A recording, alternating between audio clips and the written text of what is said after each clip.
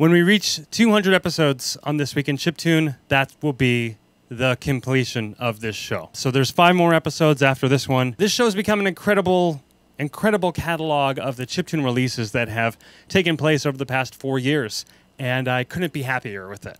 In a time where chiptune music and chiptune musicians uh, have become household names to many of us, it's been an awesome time for chiptune music. And this whole thing has brought us together as a community, which I think is really great. That's one of the elements of music scenes that I think uh, are the most rewarding, and I feel like we've truly built a great community here with This Week in Chiptune, uh, and I hope that we can all carry that on into whatever is next. Uh, I'm tremendously grateful for all of your support, everybody who pledged on Patreon back when we were struggling to cover the hosting bill for the podcast. Uh, everybody who tunes in live for the chat. 200 episodes, I feel like This Week in Chiptune is going to have become all that it can be. Once it's complete, I hope that we can see some exciting new projects from within uh, our community. You know, while I was recovering from surgery this summer, I built a 24 uh, 7 YouTube radio stream called Radio Cutman, which you can now just check out. It's got a lot of chiptune influence, but it's mostly inspired by the lo fi hip hop movement that I've been listening to a lot. So much good music comes out every day or every week, albums and singles.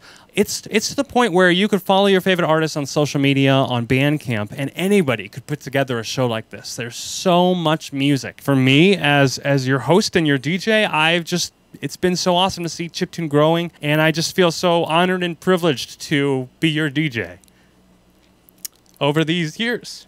As I mentioned in the show, our next episode will be October 15th, and by that episode rolls around, I will have a schedule for the final episodes for you. Uh, you can check out thisweekinchiptune.com, where I'll put more information over the coming weeks. So thank you all for your time and support. I really truly mean it, even if you just tuned in for your first time today. You've been with me from the beginning, you've been pledging or tweeting, or maybe you just dropped your first kappa in the chat today. Thank you so much for your time, and of course, thank you for listening. I'm DJ Cutman. I'll see you next time.